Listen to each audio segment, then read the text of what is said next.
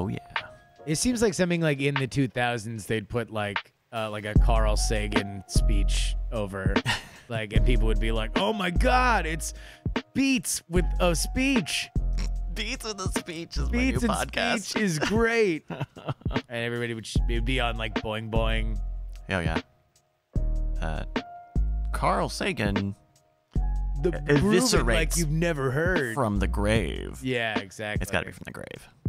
From well, So- that's where it all comes from. Apparently, Elon Musk is now Twitter's largest shareholder. Nine point eight percent. 9.8, 9.2. Who else? Nobody else. Dorsey has like 2.5 percent. Yeah, yeah, yeah. a series of CEOs. So Oh yeah, yeah. No, no, no. I, I'm just yeah, just just putting the number out there for so people know. But yeah, uh, uh, the the largest shareholder, which uh, we were talking before we went live. Uh, well, I mean, do we want to save this for the show, or is this is a conversation? We can talk about it on the show. Yeah, let's just save Yeah, this for the show. This is good content. Okay, cool. I, I have more to say about this than than a lab leak theory. That's for sure. Yeah. You see the Vanity Fair article, Bryce? The one that you sent? Yeah. Uh, uh, n- no, I didn't. Uh, 18 million people dead. Most important controversy of our time. Don't have time for it. it's it is a moving target, and all, every time I know. There's so Hey, many. hey. They're like, oh, Andrew, what, Andrew, what's your position of malaria vaccination in Africa? I'd be like, it's good. so I'm You just know, sorry. That No, was- Look, he says he likes to play coy on this though, Andrew, and the next thing you know, he goes right back home. Uh, uh, uh, uh, selects his zoonotic origins uh, rap in Forza and is just just hugging the curves. Listen, man, the cup noodle Corvette moves, baby. the cup noodle Corvette has got speed. Cup of Noodles sent me a whole package once of stuff because like I mentioned them on Because you were Twitter talking on Twitter. Oh, Oh, by the way, I actually have a, a, a very quick story. Nothing, nothing moves mountains faster than a blue check mark complaining to a corporate account on Twitter. Like it is, it is the like the closest I'll ever be to the succession like characters is when like I I try to live like a plebeian and go through the appropriate channels, which I do. Mm. And then if that yields no results, I will go on Twitter and say, "Excuse me, I'm having mild discomfort," and watch everything avalanche immediately uh, uh, to my benefit. I Which- want. I, which, which, by the way, in this case was me sending a frame bridge order to a wrong, in fact, non-existent address, trying to uh, figure out how to complete, or how to correct that. Them not answering, and then me saying I sent a thing to the wrong address, and getting a rush mailed version, another thing wow. sent directly to my house. Blue checks, man, they're the best. Disgusting. oh, okay. Uh, Mr. yeah, we- swimming in red vines and cup of noodles. Oh, and we literally last week I was uh Roshni bought me an Arby's gift card for my for Christmas and it didn't get delivered and she said something on Twitter to them. No response. So I just put in the comments. and this was meant for me. This, is like, this was meant for me. Boom. Arby's solved it. the new the new the you? new owner of an Arby's franchise.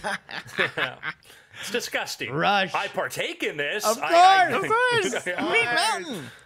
Uh, Who among us wouldn't? I need to talk to Jeff, who runs our Modern Rogue website, and see if we can get like uh, the crew listed on that website because that's how a lot of Twitter's verification stuff is. You just have to prove a that website says you're a part of the something. thing? Yeah. a lot of them just had deals directly with the media outlets. Well, Yeah. Well, I don't have Jack. Jack at twitter.com is bouncing back, so I need to find the new All right, Jack let's two. talk, let's Jack talk two. Twitter. Uh, okay, yeah, let's let's do the show. Uh, everybody good to start the show? Let's go. Yep. All right, let's go in three, two. Hello and welcome to the Weird Things Podcast. I'm Andrew Mayne, joined by Justin Robert Young Hello. and Mr. Bryce Castillo. Hello. Uh, gentlemen, first off, NASA is trying to do a basically what's called like a, uh, guess, a wet dress rehearsal with the SLS rocket. This is the big, humongous rocket that's been in development for several years and a big part of their plans for space exploration. Um, and I'll just report it straightforward without our commentary on the necessity of this and the cost on it. Uh, they had to scrub it yesterday, and what a wet dress rehearsal is, they actually pump it full of fuel to like, hey, there's a leak, we got to fix that. And so they had some sort of pressurization problem yesterday.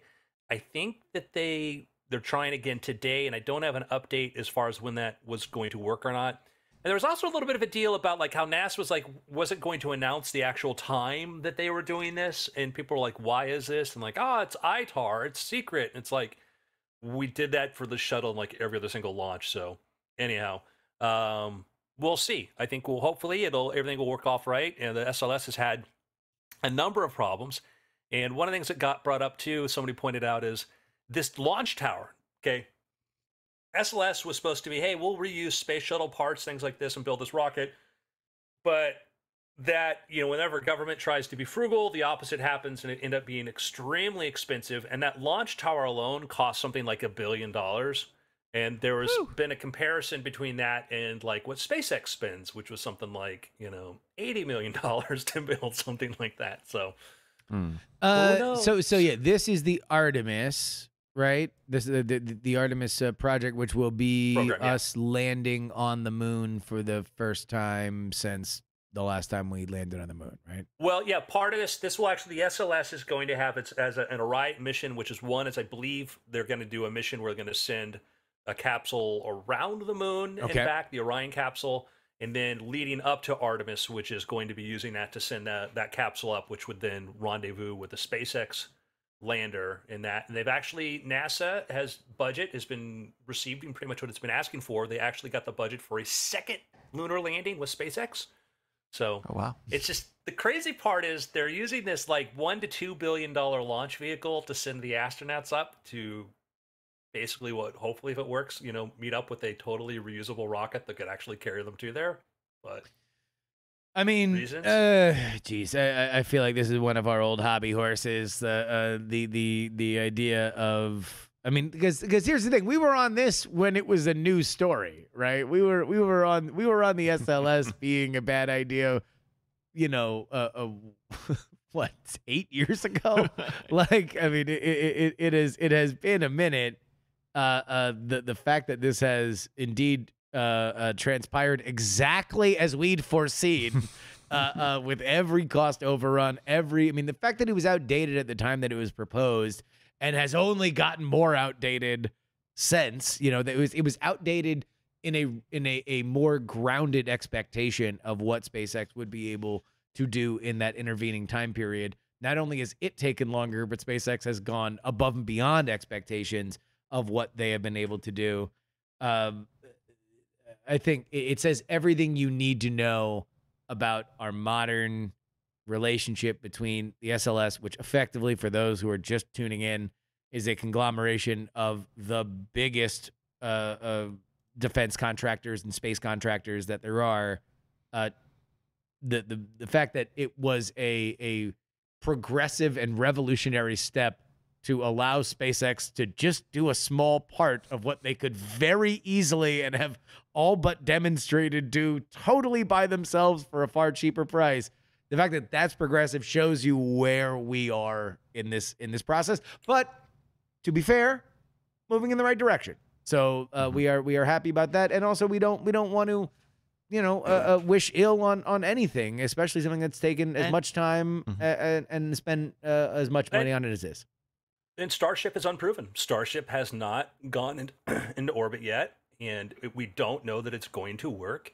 And we do want to have multiple launch capacities. Don't really want to like the price tag, and we need to address how these things are paid for. But Right. there is waiting for this thing to work that may not work, may not be the best strategy.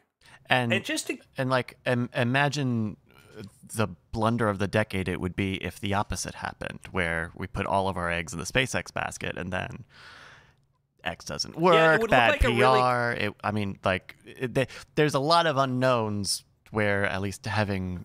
Uh, I mean, it is expensive. It was overly would- expensive, but I would say though at this point it would have been the smarter bet because of proven track record Well- and success of the Falcon 9 now by like you'd be like, well, who who should you bet on? The you know the contractors that Mhm. you know haven't built a new vehicle in 20 years.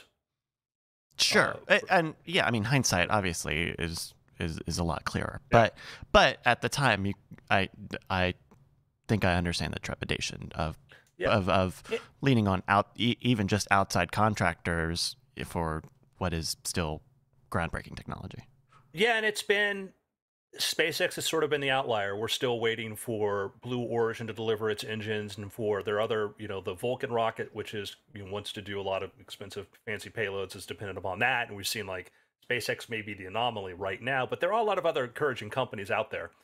And I will I will defend the defense industry in a lot of this because sometimes we apply very sinister motives to stuff, but imagine you're a person who's in charge of like assigning resources to to projects and you notice that if you put 28 engineering product managers on one project and it makes a billion you put let how many did i say 20 of them in there and it makes a billion and and you have a billion in profit you make from it but this other one where you put 40 engineering product managers and it made 300 million dollars you'd be like oh well i should use fewer because we made more money but in reality, those were the ones making sure that each component got delivered and got done. And that other project that made more money was delayed by three years or took much longer by three years. It didn't deliver what the government wanted, but the net amount you made was more. You're not making an evil decision there. You're not saying, I'm going to screw the government over. You're looking at this going, what's he, how did this make money? How does it, oh, this is the structure for that. The consideration that because of cost plus and the way these things work with government contracting, isn't as important to you. And so you can be a very sincere person and you can design a system that absolutely games the system, which is what happens in the defense industry. I- and that yeah I, I i i whenever you are making a critique about the military industrial complex i think that there is this idea of you know it gets wrapped into these notions these political notions of like oh well we're pushing war so we can sell bombs and blah blah blah. Like there's this idea of uh of you know a darkness surrounding it. When and look, we've got a bunch of people that are in our community that work for a lot of these companies and make and make good livings doing it. And when you talk to them about what their lives, what what their what their jobs are, it's a bunch of very earnest, by and large, hardworking people who work in a de facto for profit government bureaucracy. Like they they work almost exclusively with either our government or in limited capacity other governments. Uh, that means they are just kind of almost fully integrated. You know, they, they, they are they're going they're getting money and building things to spec at certain uh, uh, uh at certain you know rules and regulations that mean that they have a similar structure and just takes and forever. Yeah. That's that's the that's the thing is it's not bad. It just takes forever because that's how they're built. and and there are you know i'm sure there any any wahoo can make a private military contractor but uh I don't think he's around since the, the since they are named the Guardians. oh jesus. Uh but uh uh uh, but but uh in terms of like you know when the government does stuff especially when it comes to defense they have to have very they tend to have pretty high tolerances or very specific tolerances for the things that they need. And there are only so many companies that can do that to that scale i Uh, that- imagine that's part of it. That also becomes an excuse to charge even more, and why you had the military paying six hundred dollars for toilet seats and stuff because they use that as an excuse to say. And but you're right, they're, they're do have, they do have to, and a lot of times too, they have to make things in limited quantities. But we've seen via SpaceX and some of these other smaller companies, the defense contractors are grossly inefficient in the way that they do a lot of stuff, and not out of malice. And Mhm. so you know, another consideration too is like I was I was baffled by like the really some of the really bad early analysis of the Russian invasion of Ukraine about the predictions that it was going to fall so quickly, et cetera. And reading analyst reports from people who were paid to analyze this, you know, the thing that became clear to me is like these people aren't dumb. They're smarter than I am. They know this much better than I do. But their job, and maybe whether they implicitly realize it or not, is there's not a lot of money in writing defense reports for defense contractors in the Pentagon if all you do is underestimate the Russian and the Yeah. Chinese military. Mhm. And that's what it comes down to. Your your job is to You're- if- if- to if- prepare if for it's just- every contingency Yeah, it's like, a, oh. Russia Well, every- fart noise. Like, eh, whatever. Yeah, you're not you ha- not every, but just you just you can get money by saying, well, if Russia has this hypersonic cruise missile, that's a problem. The fact that no, they could probably only make three and it may not work isn't as relevant because Raytheon's like, yeah, we need a five billion dollar contract to build a hypersonic cruise missile defense screen. So just come up with a report that shows that Russia's working on this, whatever, and it could be a threat. And you're like, okay, you do that. Now, is it whatever? I don't really don't. I really don't know. I have no clue there. And that was with Ukraine. Was nobody was really trying to look into like although Ukrainian military had been speaking to uh, American military forces, and at that level there was a lot of talk, and there was a lot of people aware of logistics. At the higher level, that wasn't happening. They were Yeah. aware.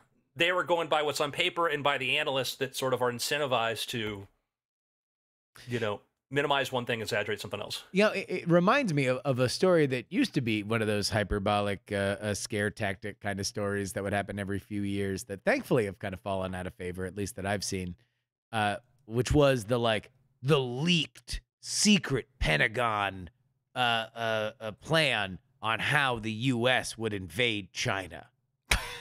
and it's like, it was real. It was Yeah. a real thing. I'm sure Because someone has to think that. yeah, we should like like that. Like like if we go to war with China, someone's like, ah, What? Get a map. We- Get a map.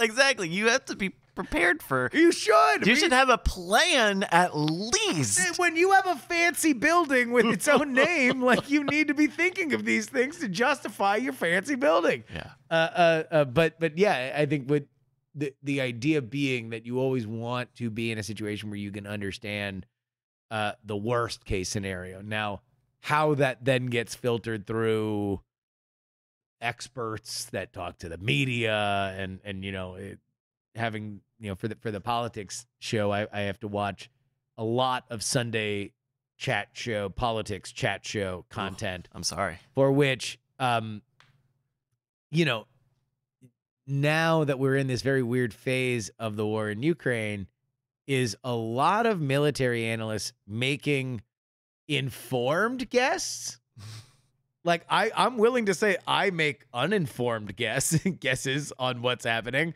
They're making informed guesses. I know enough about war reporting that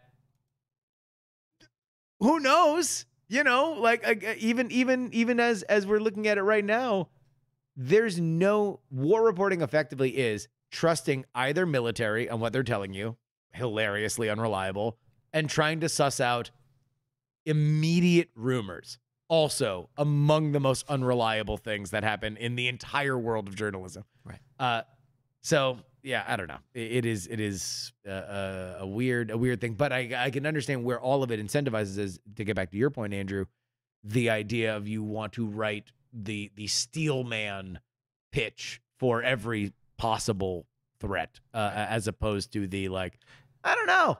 I think they kind of suck and they're bad and and they're and they're pretending to be more than they are And you know, when the price tag is so high, uh, you're gonna get you're gonna get the best salesman using the best salesman techniques that they can to do the you know it's do the do to do the do. That's right.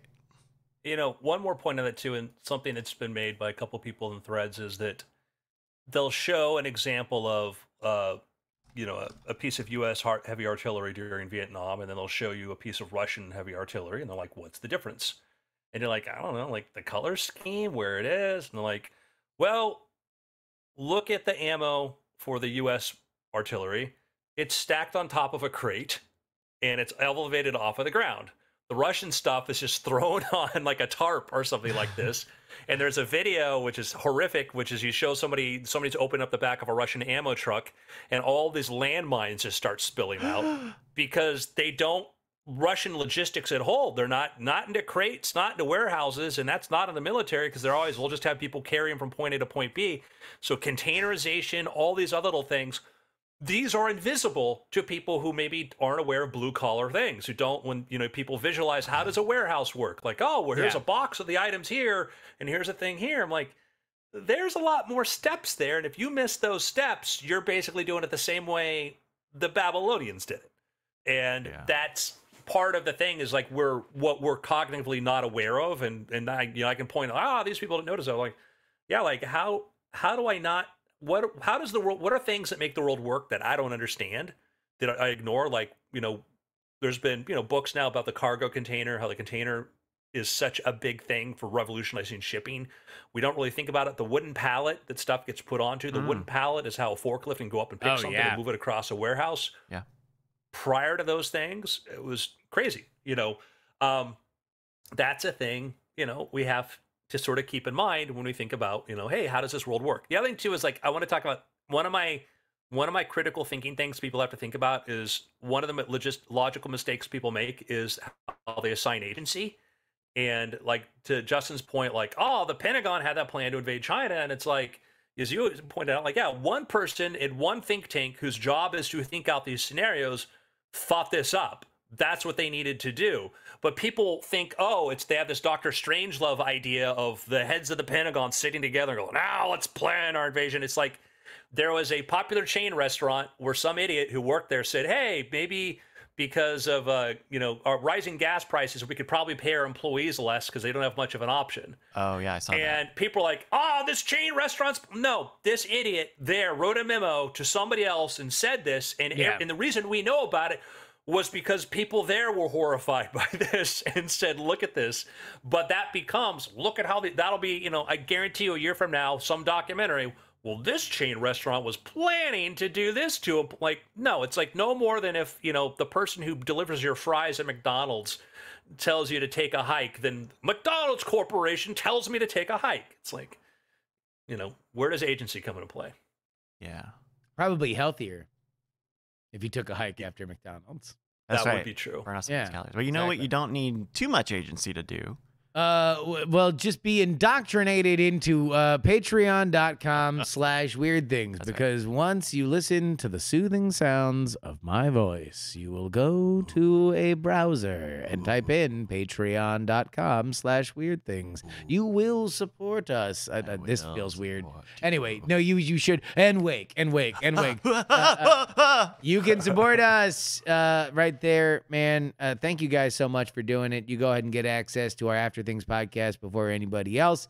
And make sure that no matter what, uh, we are here for you. So head on over there right now, patreon.com slash weird things. So interesting thing, and it- it- this sort of I had some topics to talk about, but I think we should talk about this because it's kind of a I think it's a big story and maybe bigger than people may realize. Uh, turns out Twitter now has a new single largest shareholder. Yep. A universally beloved figure on that platform. Oh, uh, uh, I know. Uh, C- uh, Chrissy Teigen. Uh, Chrissy was it Chrissy Yep. Teigen? Chrissy Teigen. Uh, she's always doing stuff. I don't know what of the any of the stuff that she does, but she's always doing stuff. What is it? Uh, uh, I can't even think of any novelty Twitter accounts. Is it? is it dril? Is it dril? Is it at dril? Did he write another book? No. No, Mm. I'll bet you it's I Elon bet- Musk. Oh, So uh, it is Elon Musk. it's sort of interesting how how people of large media empires go like uh uh Jeff Bezos says, "Hey, uh you know, I want to the media's kind of big. I should probably buy something, you know." And so he goes out there and he buys Washington Post. Mm-hmm. Carlos Slim, you know, one of the richest people in the world, he's like, "Hey, I think I'm going to buy a bit of what was it, New York Times?" Yes. Okay. And then you have uh, Laurene Powell Jobs. She's, you know, basically uh, inheritance or because of, you know, the passing of Steve Jobs is in, you know, runs this big, huge trust, whatever, and, and not to diminish her own work. And she's done a wonderful philanthropic stuff. She goes off and she bought, uh, She butt into one of the magazine was it conglomerates, Atlantic, right? I think, or Yeah, something, or Yeah. yeah. Hmm. And so that becomes sort of a kind of, I think, that a thing that you see, man, I don't like what's going on in the news today. What can I do? I'm going to cancel my subscription. Or, Or, Or I'll. uh, yeah, and let's let's uh, uh, Hmm. media history moment. Uh, uh, rich people owning media entities is as old as time itself. Uh, uh, in fact, that that is effectively the model. Uh, the the you know, unlike a, a, a Two Faces monologue in the Batman movie, uh, you tend to live to become somebody beloved You know, like uh, uh, uh the Grahams who ran the Washington Post before. Uh, uh, uh, uh what's his butt? Uh, Bezos. Bezos bought it. Uh, were eventually beloved as being like stalwart stewards of getting getting the news out. So uh, this is this is not new.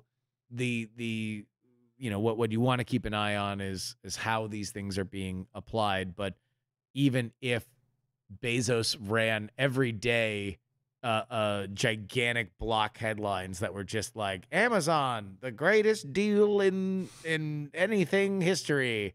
Uh, it probably would not match up to like one tenth of some of the like influence peddling that Yeah. that uh, uh, you know our our our plutocrats of the past did with their media empires. So just everybody, yeah, keep that in mind. I I'll say this because it is. A, uh, uh, I have two takes on Elon Musk. Number one, remember the main. uh, is uh, I uh, ever since Jack Dorsey left, uh, what a few months ago, uh, the new person that they've installed uh, is seemingly keeping good on his word of making a lot of changes to Twitter very quickly, as fast as possible. Um, and What what would you say that he changed? uh, a, a, a lot of user interface things, making spaces more of a prominent thing. Um, uh, there's a, there's some new use, user interface stuff that makes the Twitter app look a lot like, more like Facebook, even.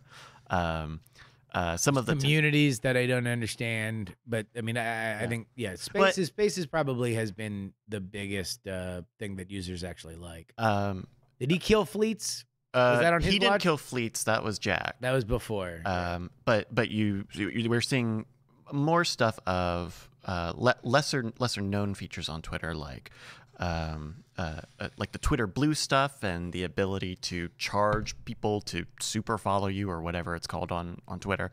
Um, to to kind of monetize that platform in certain ways, or to uh, you know they have some ways where you can tell Twitter what type of account you are, even if you're not verified. Like, oh, this is like a media account. This is a this is like a podcast, um, which I think is going to. Uh, uh, in any case, I, I think that there's a lot of machinations going on. They, like Twitter is testing out a thing. Uh, Scott Johnson has one of these. They are testing a Discord or more like a Mastodon style community feature where uh, users of Twitter can join your community, like say the Frog Pants that's, community. that's public, right?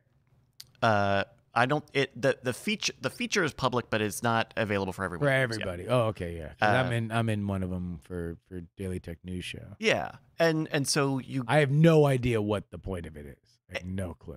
when it, it just gets to the point where like okay they're they're trying a lot of new stuff with twitter twitter kind of wasn't working still isn't working so they're trying to find an, something new to take off whether it's copying discord or copying substack or whatever. Um, but at the end of the day i don't know we're talking about the acquisition or this this share purchase as if it were the new york times but the news doesn't get made on twitter. Certainly news gets made out of twitter but the news gets spread on Twitter. I read the news on Twitter, but the but that's either Have you heard of the word algorithm? Uh, the thing I always turn off on Twitter? Yeah.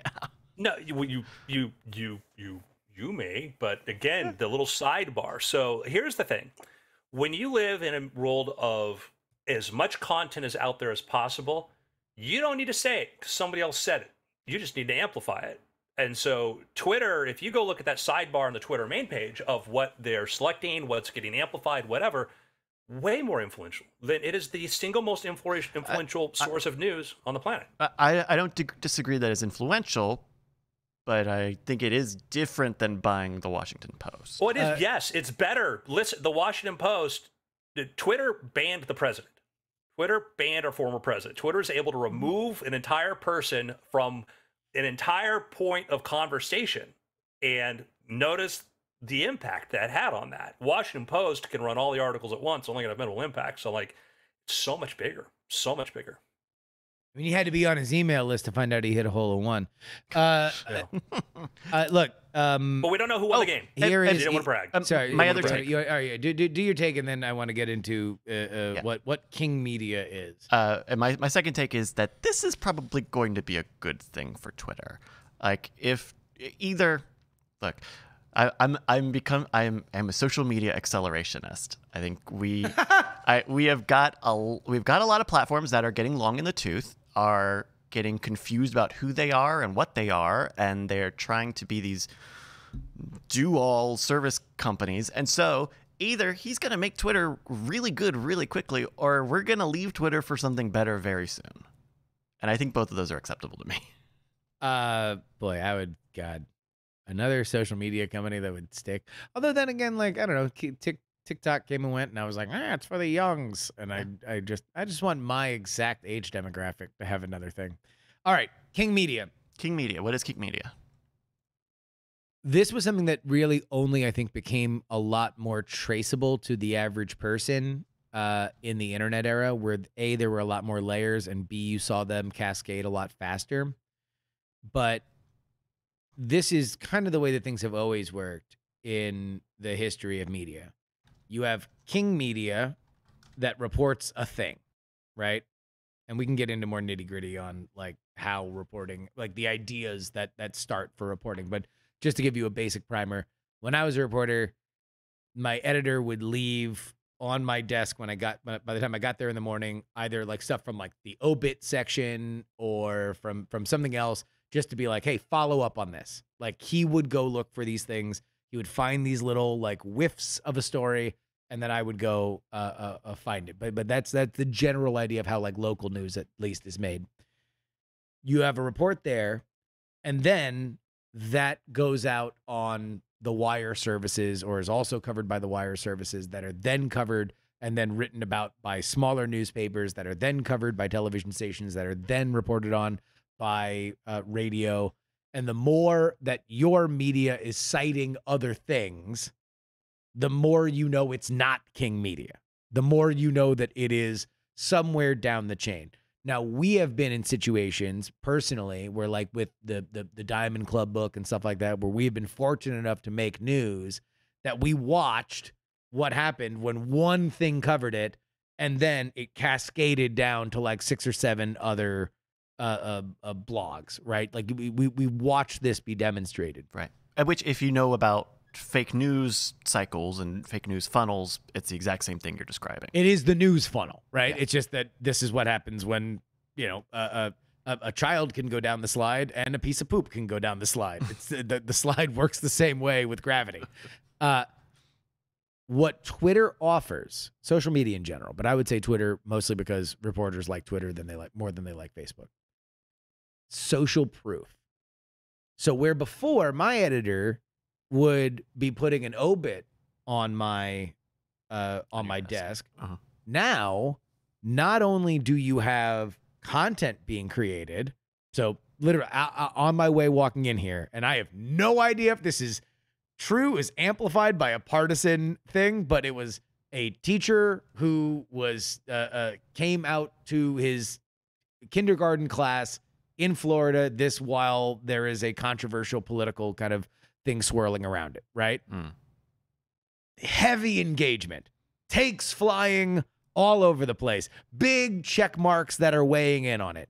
Right. That video, aggregated and posted from somewhere in the wilds of the internet, but finding the public square on Twitter, and then having the conversation that justifies for anybody that this is now a story means that the newspapers, the television stations, and everybody else follows the lead to go talk to that guy. Whenever you see a gigantic thing that goes viral on Twitter and you see in the comments, Hi, I'm Dana from CNN. Uh, uh, can you please follow us so we can arrange a blah, blah, blah? Yeah. That means Twitter is king media. That means they are coming there because they know that there is social traction on a story and people are more likely to go in or to to follow up with it because they have context for it and it's not just something that they are coming up with by themselves and then reporting on. Now, it certainly goes the other way. If the New York Times has a story for which Twitter cares about, it will get spread there. But that to me is the worth uh, of of of Twitter specifically is that Almost as an analytical tool. it's where journalism lives. It it it is, and the scary thing too is that the amount of control and editorial control, like one is who you give a blue check to. Do you like what this person says? Give them a blue check. Don't like what this person says? I'm sorry, you don't meet our threshold. We saw right before the election the Hunter Biden laptop story getting flagged. New York Post locked out of Twitter from sharing a story. Um, the reasons for that, they're manyfold, but what we know is a thing that now has been verified to be completely true. What it really means, what the implications, something completely different, literally may have changed an election, may have changed an outcome of an election based on that. And some people might argue, well, that was good because it was that close to election day. Maybe there should be, maybe we shouldn't have these last minute inflammatory stories that can't be fact checked, whatever. There's going to be arguments on either side. But that story was stopped from disseminating in this platform. And that tells you literally it can change elections, which is fascinating. I mean, it just, it should be, you know, uh, maybe scary depending on where you come from. But when you look at uh, what I, I don't, it's hard to sort of come up with a comparison to what this is like. Uh, yeah. I, I mean, I think I'm I'm getting tripped up a little bit just because this is very different from other traditional media buyouts, right? This is not uh, he buy buys the Huffington Post and he gets Oh, the what CMS, but Yeah. we don't know what his impact will be. I mean, he's he's l- largest shareholder, might get a board seat, but it doesn't mean he's going to just step into the offices today and tell everybody, like, No. listen, new plan. Uh, in fact, knowing Elon Musk, this may just be a very expensive hedge slash troll, right? He's got his the money sitting in his Robinhood account, and he's like, I don't know, what do I do? I was by seven Eh, million buy shares of Twitter. yeah, exactly. You know, he's paying Gla- he's he's paying Grimes surrogate on Venmo, and he's like, I don't know, I got a little left over. What if I just bought Twitter? But it's Yeah. but it I- and yeah, you know, so and and you know, in the chat they're asking, you know, why do we think eleven percent means anything? And it doesn't. It's not controlling interest, but It is it is It the is largest. I mean, I think it that, is the that largest that- single that, purchase. that is the one thing that does disconnect is that when you look at it, and it's like nine point eight, and you're like, oh, it's a souvenir. No, it, it's a lot because of the shares are very very diffuse, and then the other thing that. And somebody who's smarter at business would be able to explain exactly what this means. But from my cursory reading on this earlier, uh, Facebook, Google, and a few other gigantic tech companies have it written into their corporate bylaws that founders basically have outsized interest, and that ca- that is irrevocable. Mm. Uh, Twitter does They- not, they- and that was the reason Yeah. why Dorsey wound up getting run off. mm, they create two tiers of stock. That was like in the Facebook plot point where Andrew, Andrew Garfield gets realizes that he was getting the inferior stock and not the stock that had the control and could actually revert anything to it. Uh, yeah, at 9.5%, whatever, he is the single largest individual shareholder according to reports. That also means that when it comes to votes, you do not get you know your your voting shares your are not one person one vote. It is number of shares per vote. So he controls 10% of all voting shares. So when it comes to approximately so when it comes to making decisions on stuff that is huge. You cannot ignore a shareholder like that. And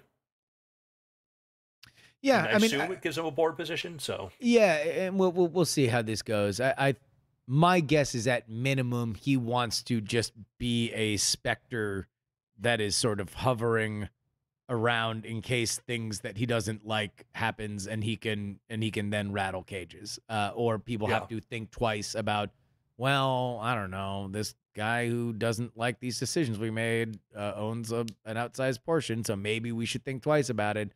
Uh, that's that's my my guess. I mean, but then again, you know, he he certainly has a, a- seemingly infinite capacity to spin plates, uh, uh, considering what else he's done. So who knows? Well, maybe it- maybe he's like, yeah, this is this is what I want. I, I really really believe that the fundamental health of the world is dependent on uh, uh, social media having more firm ground rules and people understanding instead of being able to mold it to exactly what you want, which means nobody gets what they want because everybody has a different idea of what they want. Uh, that it is incumbent upon social media to say, nope, here are the rules. This is it. We we are Yep. going to we are going to enforce what we enforce and Mhm. and not what we don't. And and people will jump and yell and scream, but but you know that that is that is Yeah, what well, it is. Well, let- let's clarify this. So, like somebody here says, uh, companies ignore shareholders all the time. He bought some vanity. Companies do not tend to ignore people who own substantial stakes, like 10% and the single largest shareholder, because one, you have voting shares. You can control decisions and who you have input on who gets to be on board and make up. That board of directors can say, we need to fire our CEO.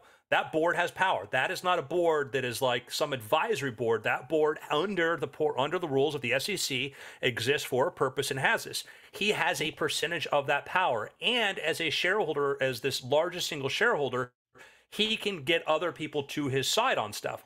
I don't know what the point is for being able to get control of it, but it's often you don't have to have, say, like 50% control of a 51% control of a stock to be able to make larger decisions on this. That's gets into a bigger thing. This is not a vanity purchase. You have a substantial influence because also he can go to other people who have shares. He could say, hey, I, he may have enough shares to push for amendments to put out there and suggestions to be made that the company would have to follow if it got voted on. So Well, I mean, we, we we don't. Yes, he it, it can be a lot of things. We do not know what it will be because we have no idea, you know, what what he exactly wants to do about it. But what is important to point out is that because of the unique structure of Twitter, at least for other uh, uh, Silicon Valley companies, shareholders have already forced Jack out.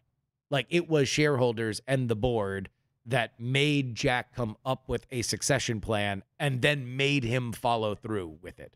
Uh, like so, this this has already happened in this company specifically. So maybe it is because of that that he wants to get into it. But then again, it's like, uh, you know, to be totally honest, he's a man who understands the value of staying in the center of the spotlight.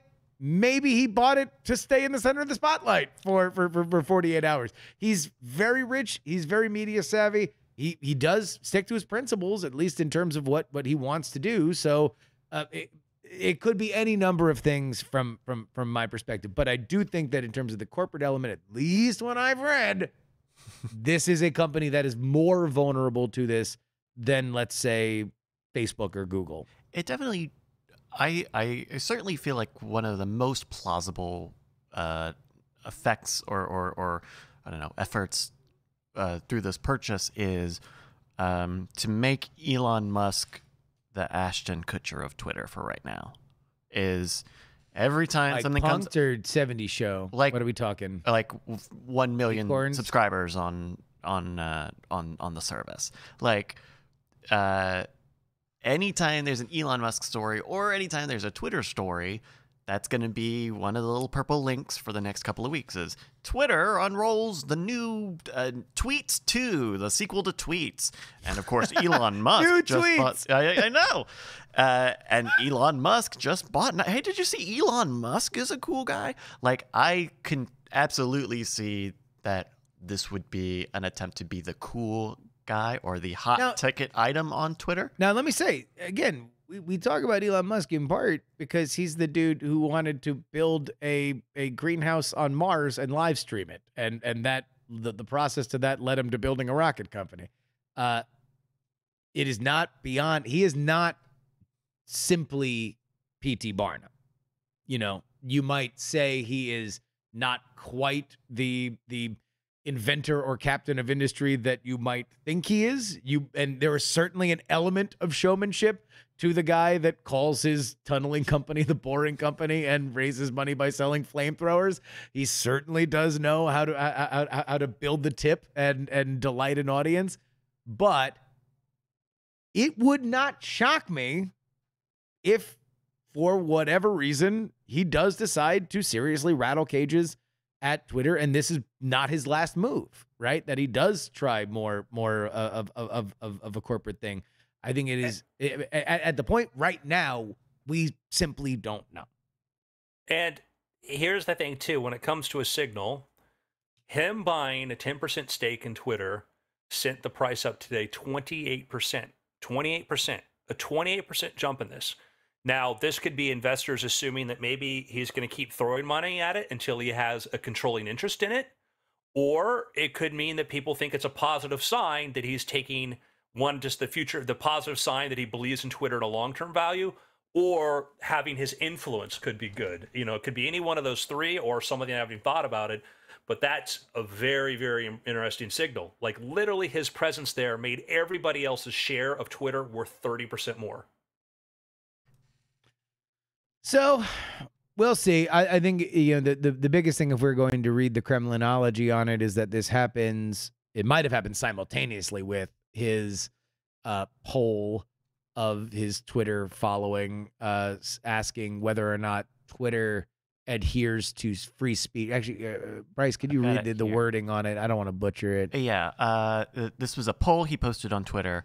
Uh, free speech is essential to a functioning democracy. Do you believe Twitter rigorously adheres to this principle? And 70% of voters said that they do not believe Twitter rigorously adheres to free speech. Which now, is... the, the the thing I love about that and just the uh, general concept is that like the oldest lesson that that old old growth internet people like us really know is that no one likes the admins. the admins always suck. It is it is always a popular a popular uh, uh, uh, rallying cry to be like, "Hey, who sucks?" Like the admin sucks. Uh, that being said, this is a website the likes of which I, I do think has, you know, to to undercount its cultural and political cachet is foolhardy. Like this is a unique thing. It is a unique beast. Um, mm-hmm. So, is there a greater responsibility to that? I mean, he he seems to want to put a bunch of money behind it. Uh, uh, uh I I don't know what his solution would be. I don't know, you know what what uh you know if mm. if there is. I know that my issue with social media in general is that when you don't this is Twitter and Facebook specifically. When you don't have mods, you only have admins, then you remove your ability to make kind of local decisions on certain topics, certain communities that can be more hemmed in versus others that can be a little bit more free form and and and that shapes opinion. It's the reason why Reddit for various different people are various different websites effectively. For some people it is hell right? For some people it's pornography. For some people it's the greatest expression that they could possibly want. Discord the same way. They are they are greatly they they contain multitudes facebook and twitter don't they have kind of one size fits all rules for everything and they are not particularly beholden to any kind of uh, uh you know case history or or uh, uh, past past interaction. So and may, maybe maybe that is what you know he wants to bring more to it. Is like, hey, everything needs to have a prescribed punishment and and these are the only things that go over the line and blah blah blah blah blah. Maybe. Well, maybe, but then also we've seen big social networks act uh, in in the opposite way, right? Like they they do not have any uh, you know um, uh, they don't have any charge that says you have to be the open forum, you have to be the debate hall for everything, mm-hmm. uh, which means that they you tend to see through their moderation, maybe not always in the headline, but the day to day moderation of those sites is towards keeping people on there, is to not kicking people off unless they very much have to, because they make money when there are when there are people in cots. You know, they have to. Yep. That they, they they are in the business of getting people on the platform, not making the platform good. Uh, you know, it it is it's it's it's not about making good time. It's about making a loud time and. Uh, Twitter is is very is is very good for that. Well, let, let, let's also understand that Twitter makes money by page impressions. It, ma- it, makes money on advertising. It is an advertising company. The point of Twitter is that you have a lot of interaction on it, which gives Twitter more of an opportunity to slide an ad in between, you know, all the different uh, uh, tweets that you are seeing. So, uh, uh yeah, there is there is a, a tremendous amount of traffic that is generated by eccentric, loud, uh, uh, oftentimes controversial voices. The question is exactly how you govern them and what is over the line, what isn't over the line. Uh, well, what, yeah. what, what, what Twitter has uniquely weaponized is the fact that uh, uh, there is a no-win situation. I mean, like Jack Dorsey was so wrecked physically by the concept of being the king of Twitter that he just started like living in maggots. Like Yes. like this man this man was spiritually and physically destroyed by the weight of of having either you're defending somebody that you don't like or you're being yelled at by your best friend like it is it it is a hell site. It is uh, uh Yeah. but then again should it be anything else? And also like is it serving me whatever uh you know, Bud Light Seltzer Limerita ad that uh, has paid for my demographic to see it. Well, you know, the lime, you know, you get the taste of lime But with with the Rita, with the Rita twist, Which is great. which is Yeah, so good. It's yeah. a, you know two great tastes. It tastes. why it, it's like Bud Light Seltzer hard soda. How many different things are we gonna put into one name? as long just- as it's low carb, as long as it's zero sugar. Yeah, zero sugar, low carb. So, prediction Hmm. is does he just buying this 10% stake and that's it? And then he's like, cool, I just want to have a voice in the room. I got to make sure they hear from me because I'm going to be a noisy investor.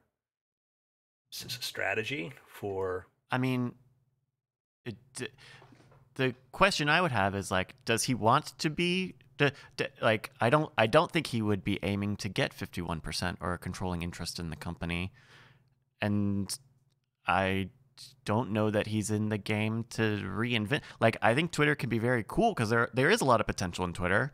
I, I, I do read a lot of news. I, I have found myself in like a reporter's thread where they basically just summarize the article that they've posted.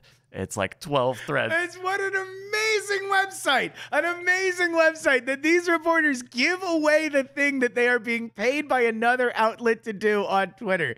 It is the funniest thing. When I was when I was covering when I was on the trail and I'm at a I'm at a, a, a, a rally and I'm in these pens. I was gonna say Trump rally, but it was all of them, right? It was the Bernie rallies, the Pete rallies, blah blah blah blah blah.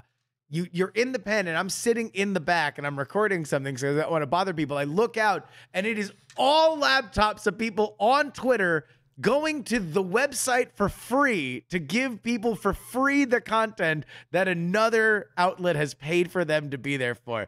Just, I mean, it, it, it shows you there is a cultural cachet here that just cannot be matched. Yeah. And like you I think you can steer Twitter towards more of that. Like I think that's meeting people where they are in a very functional way.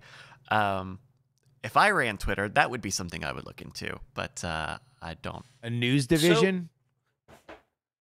Or like news practices. Figure out ma- treat if if Twitter's going to be the new wire, make it make it the wire and figure out a way for people to get more of what they want on Twitter instead of, you know, going to YouTube, going to the Washington Post, whatever. Get Stringer Bell. I I think what's The thing to Wire. think about is Oh. Wire. Okay. twi- yeah, I was season two was Fine. better. Yeah. Uh, I Sabaka man con- yourself, huh?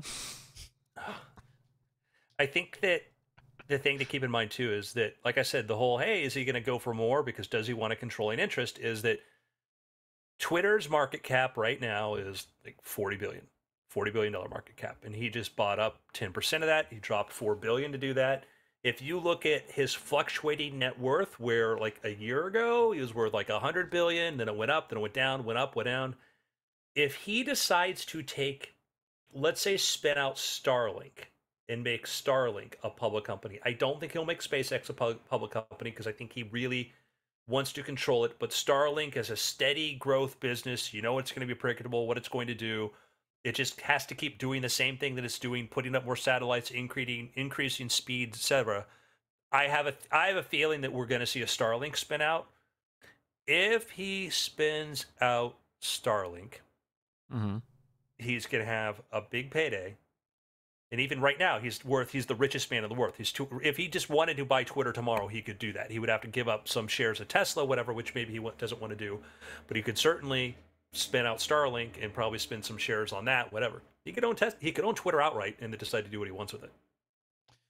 Yeah, uh, uh, my, my my prediction is he wants to be the scary guy in the room. I think he he he he wants to factor into the thinking of Twitter that if they If they were going to do something, watch out. think about Elon first, yeah. just think uh, you know it's it, it like like that meme like you know I agree I agree. Is there someone you didn't ask? I don't. instead of Jesus it's Elon and it's uh, uh somebody did not give consent and that was and that was Elon. So I that's what he wants because I, I I think he feels and this is from somebody that comes from the Silicon Valley system it's so funny to to watch you know, some of the coverage was like Elon Musk, who's been critical of Silicon Valley thing. It's like he's PayPal mafia. Like, like, PayPal. yeah, and look, and, and and there are cultural and political lines for which have been kind of drawn between a lot of this stuff and bop, bop, bop, bop, bop, right? But I think he feels that Twitter right now is in too insular a uh, uh position. I think he he just bought four billion dollars worth of uh, uh, uh, ideological diversity into the decisions that are made, and maybe maybe if he if he feels that this is something that is too far gone, maybe he buys it. But I think for right now, uh, he wants to stand in the room, and whenever someone's making a decision, he loudly cracks his knuckles. uh, uh, uh, uh, last my last thought on this. Jan- Daniel J. Newman in our chat just said, "Why not just buy the employees that make Twitter good and make a better one and leave old Twitter to die?" but it's like I don't know if you've noticed, but every time someone has tried to launch a social network, it has flopped. It has not worked. It is. Uh, Might be the last thing I'd try to acquire from that company. but but but you know, Except for four- Brett. Four oh yeah, pick- buy Oh, yeah. buy Brett, please. Uh, four billion dollars would buy a very fancy social network that will probably not work because there there is a huge there. I've talked about this a lot when it comes to uh, social media succession. Like we have very high expectations of what technology should do, and so if your social media network doesn't have video But and Twitter- apps it- and all these other things from day Well- one, it's tough to compete. I, I would say it's even more basic than that. That's the reason Google Plus failed. You're, it's a network. The Mhm. it's the network. It's it's Twitter's been around almost what, 15 years now, Something and so 15 years of networks of who to follow, who to do all this, and everybody trying to copy us and do like TikTok worked because TikTok was something new. Your network didn't matter. All that mattered was an algorithm showing you something fun and cool. If you want to and, build, e- it, and know- even that was built on Musical.ly, right? It, it already it was it was a, a a boutique social network that had its own following that then was supercharged. Uh, yeah. So well, and then well, I mean, the Chinese version wasn't Musical.ly. They came to America and they was- bought yeah, yeah, Musical.ly yeah, here. yeah, here. yeah, yeah, Douyin, right? Yeah, but uh, yeah, uh, yeah. But Yeah, but yeah, even then, or, or even Discord, right? Like Discord, I think is like the great new social network or one of the newer great Mm-hmm. social networks, and it is relatively different than everything else. It is basically IRC, but that's not what Twitter or Facebook are, and I think it's great, and uh, that's what we kind of le- need is something different, right? I- I think- we didn't like Reddit because it was exactly what Digg used to be. It's because it was also the right time because Digg was going down and it was new stuff. yeah. That th- there's an older internet. Oh man, we're just so uh, there was there was there was an idea when when uh, uh, social media was young that everything was very tenuous, right? Because we had seen similar offerings that we did not really look at as like functionally all that different that would just swallow each other up like you know ever greater fish in in a in a metaphor or something. Uh what we found out is that once it reached a certain phase of maturity you really needed to differentiate yourself. And we have seen through some people were listing there in the chat talk to Parler talk to Gettr talk to truth social Yeah. right Talk Uh, to Peach. the Talk to idea well, Meerkat. but but just no just in those Every- three specifically Yeah. political ideological uh protest of twitter was not enough of a differentiator like eh, people went there they created accounts and maybe there's an element uh, that is that is still there but it's not the king media it's not the hive Mm. hive is still on twitter that matters Yeah, I there there there's always going to be room for something else. It just got to be different. And somebody brought up the comment that like the moderation feels uneven. I think that's that would be that would be I think that's one of the biggest criticisms against it. And it's it's the hard part is that um our founding fathers, in my opinion, were very wise in that we didn't put things. And in they were not, not on Twitter. Yeah, that too. They, although, could you imagine Ben Franklin on Twitter? That Oh, he'd be insane. lit. Um, they're Check me out. I'm in France. they're they're the it can feel like Franklin's in Paris. we we don't have we don't have hate speech laws in our country and some people think that's bad some people think it's good i kind of think it's good because hate speech is so subjective in how you define it and other people like how can we not have this? Because in their head they have a very clear idea of how they define what that is.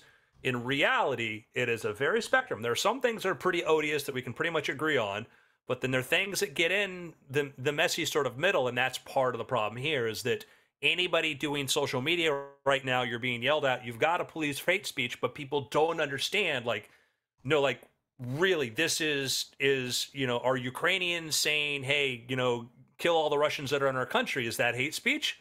Well uh, maybe but is it you know a really good point of view if you're from ukraine? Probably. And you get into these sort of extremes where you go well it's obvious. Like was it? By this same rule.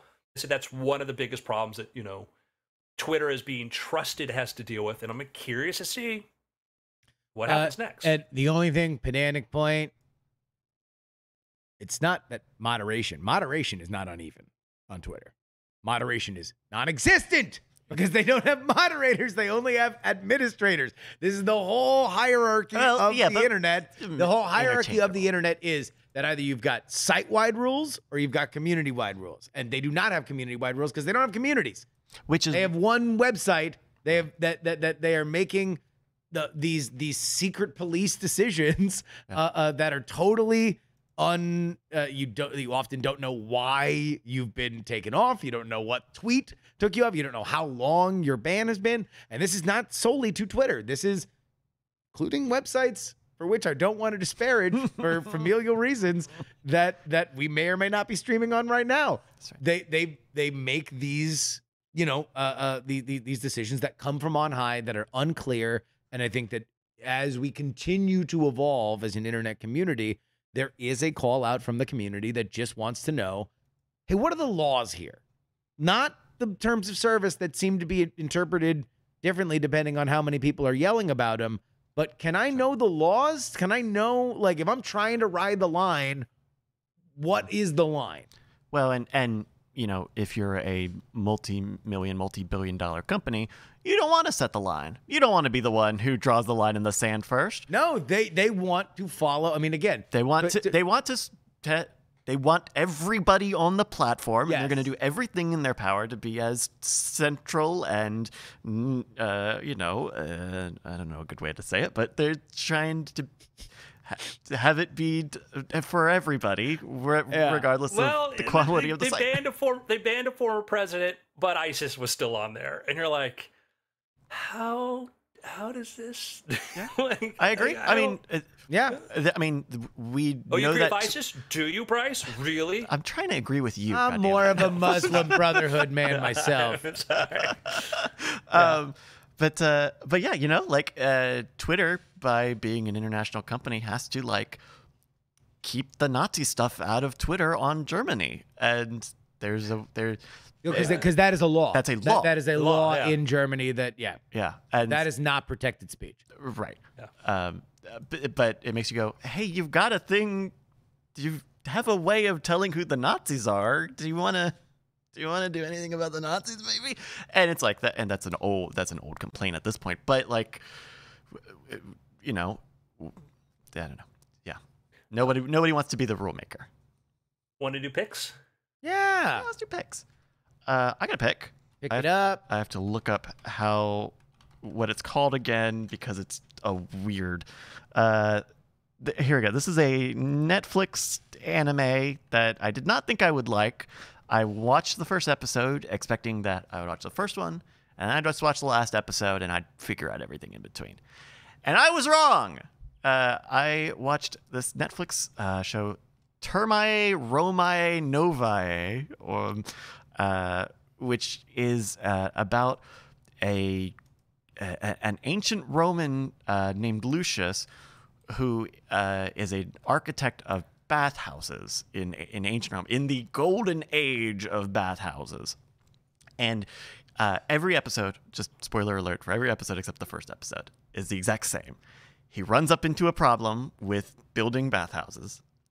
He enjoys a bathhouse and then usually falls under the water and is transported to usually modern day Japan, where he steals their ideas of bathing and bathing culture and then brings it back to ancient Rome, where his inventive, im- impossible, new, innovative ideas uh, bring success and beauty and pride to the bathing Oh, culture. that old cliche story.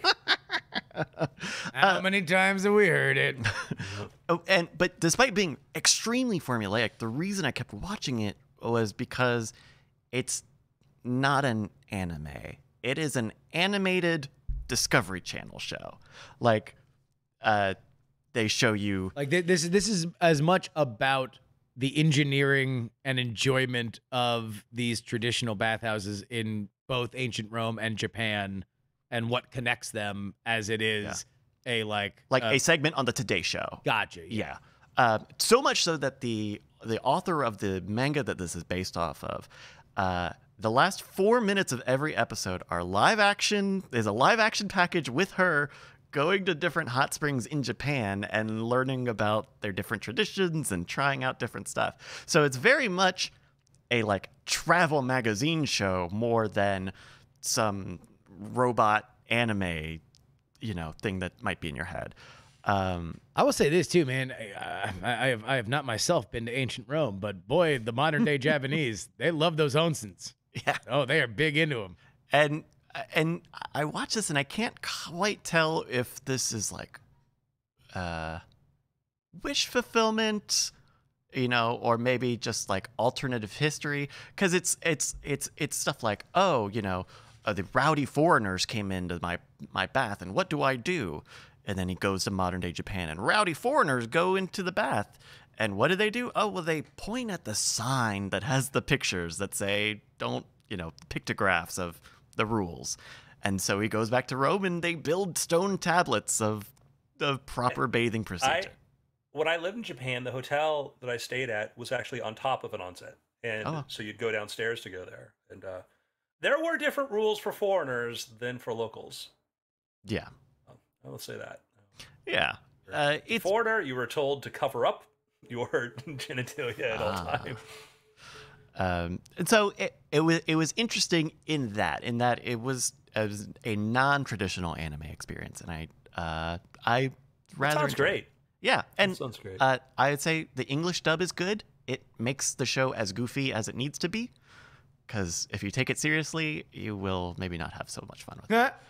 Japan, don't change. Japan, Yeah. you, you're, you're doing it. You're doing it good. Just, You're just doing it we're- good. we're always doing delighted. it good. So Can't that's wait it. to get back out there. Ter, ter, terumae romae nobuae, which is such a weird. Just uh, you'll find it on Netflix. T H E R M A E. Thermae.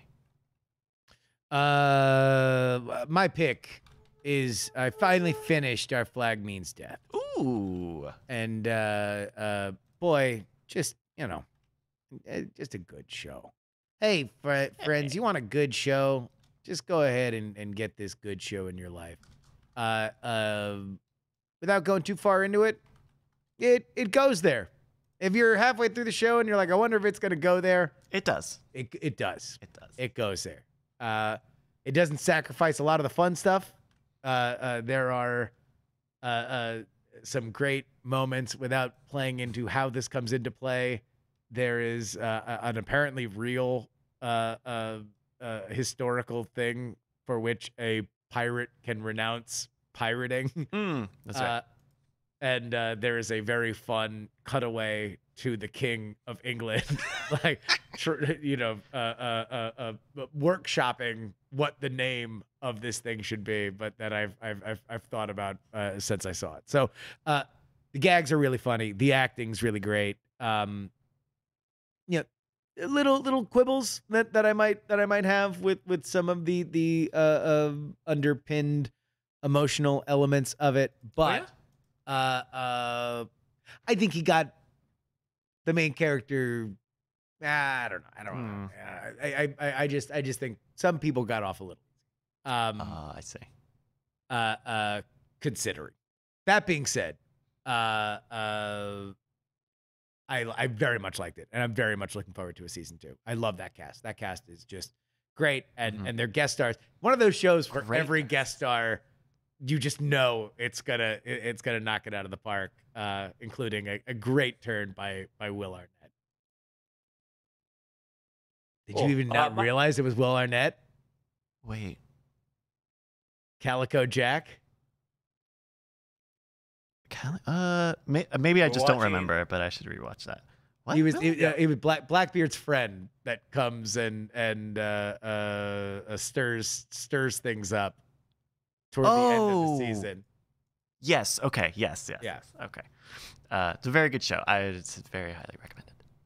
Uh, one follow up and then one pick. One is Hmm. um, down to waiting for the last episode of Severance. Ah.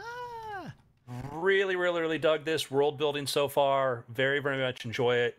Um, other things like I think I know what it's about, but it's really great storytelling. Is about watching the characters try to figure out what it's about, which is really cool. And if you're engaged with the characters, you know you could know. Oh, this is what's going on doesn't matter for them you know like i would say versus like westworld where the characters exploration of what was going on was kind of sort of slow and plotting and Mm. you know you were it wasn't as cool over a reveal where here you could sort of start with kind of knowing like if i said oh i think this is what's going on you'd be like oh cool how is this going to impact them? or whatever. So very much been enjoying it. Justin you've been watching it? I've not, but I did listen to an interview with uh, Ben Stiller, who was talking about the, the the development of it, which apparently he read as a writing sample uh, for his production company. That the, the the the creator of it submitted it as his writing sample to get a a job with Ben Stiller's production company. Wow. and he loved they it so developed much that that uh, and he said he was he was sold on it by the first few scenes before any of the larger conceit is revealed he just really loved the dialogue of the uh, uh the the office banter uh and- I yeah. Yeah, my joke is that like at the surface it's like, yeah, this is what Hollywood people think having a real job is like. They're Uh, like and they they're like, it's like and they go into these buildings, they gotta wear these things on their necks. Like everybody has to wear the same one and tag it in and like it's insane. Uh, uh, also, apparently, uh, they he cast John Turturro, and John Turturro uh, was very excited to do it. And uh, he's like, "Oh, have, have you? Uh, uh, do you have a, somebody for this other role?" And he's like, uh, "Yeah, we're looking at a few people." And he named off the people, and he's like, "You know, Chris would be great."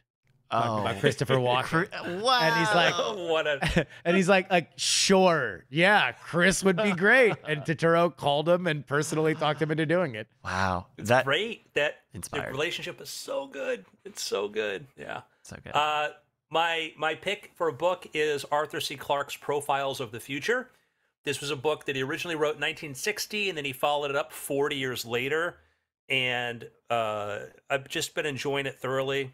Did I mention this on the last podcast? I think you. I think you told us did. Yeah, about yeah, this, yeah. but I don't think it was a pick necessarily. Yeah, so this is my pick. Uh, I'm on the last chapter now, and that was like I think I mentioned like yeah, my favorite thing from there was his you know experience. Yeah, I talked about the playing around with like a hovercraft, and the the last time he ever drove anything was a hovercraft. But a lot of great, lot of great things. Reading, listening to him talk in like the 1960s about like what if we can have these satellites like you talked about the problem with tv at that point was it had to use all these transmitters to get signal around Mhm. and we weren't really connected but if we could put a satellite in geostationary or you know orbit we could be connected and you could have a satellite newspaper you know Yeah. you know you could have satellite mail where you would go to an office and Ah. write down a letter and give it to somebody and it'd be sent to the satellite and then sent to somebody else and it's like Somebody else's secretary who would then Yeah.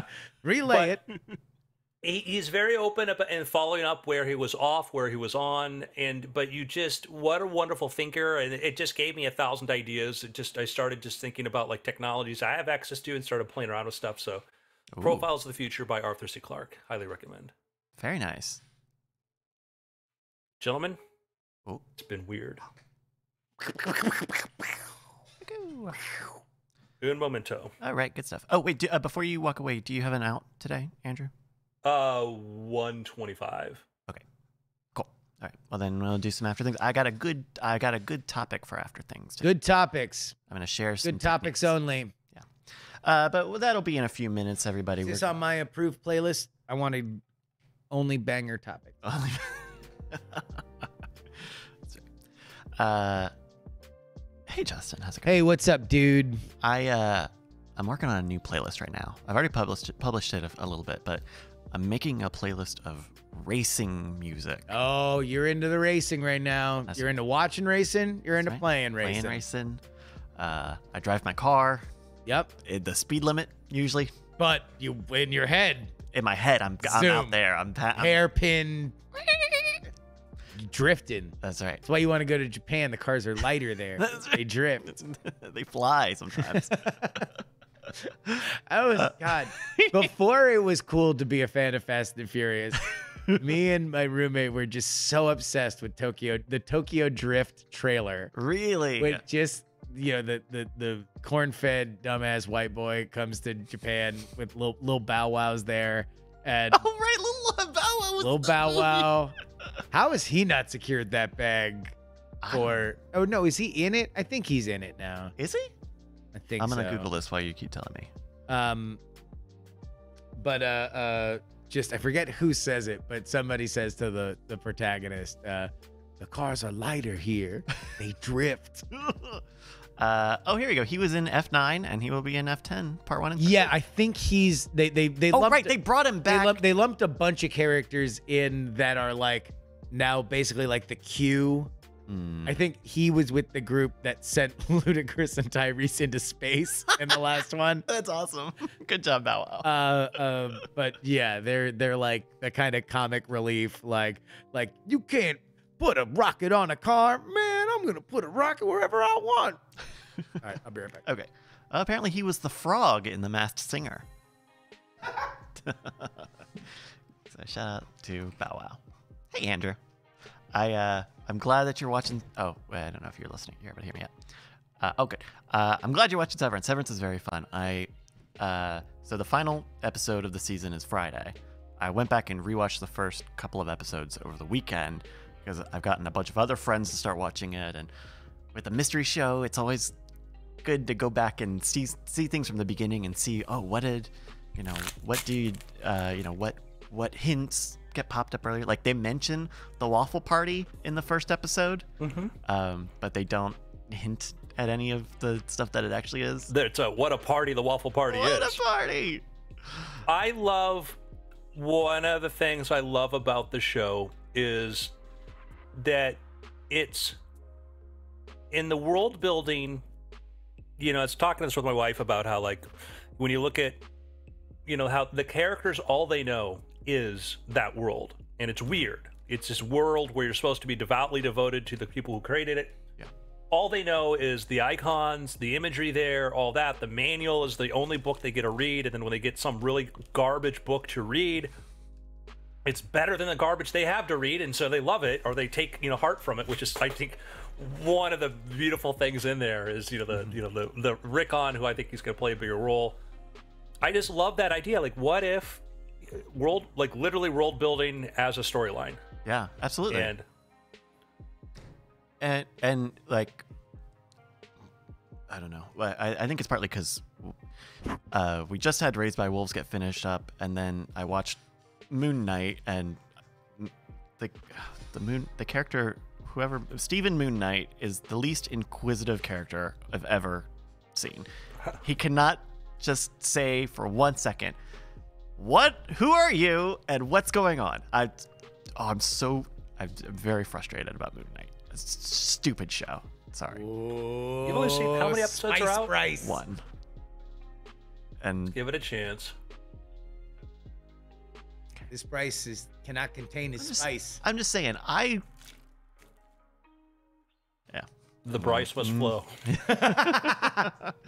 I'm gonna I'm gonna You were very upset on Twitter. I saw your Twitter I was upset about it. I feel like I like mysteries a lot, and I feel like you can tell a good mystery and not not just get stuck up on the initial premise. We don't need to spend 43 minutes of this like sleepwalking guy story just so that we can finally do the thing. It's just it, I'm sorry it was too long to be a movie, but now it's too long for a TV show. I what I like about um Severance is Hmm. you get jump into the main the- it's ahead of you. Like like you're wait, what does this mean? What does this mean? What does this mean? And you're putting it together and then it's like, well, yeah, this is what's going you're like, oh, this we got this we got cool. this. Yeah.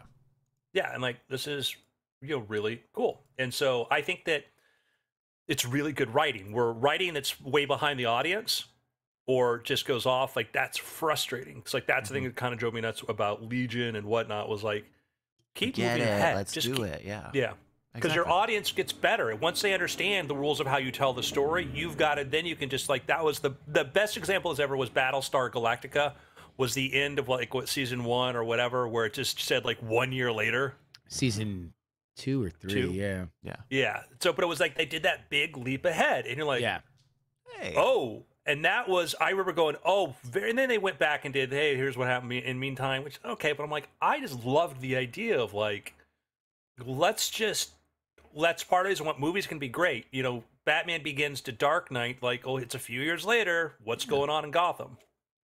Well, you ready? Uh, yeah, let's do let's do after things here. I'm gonna count you in, in three, two.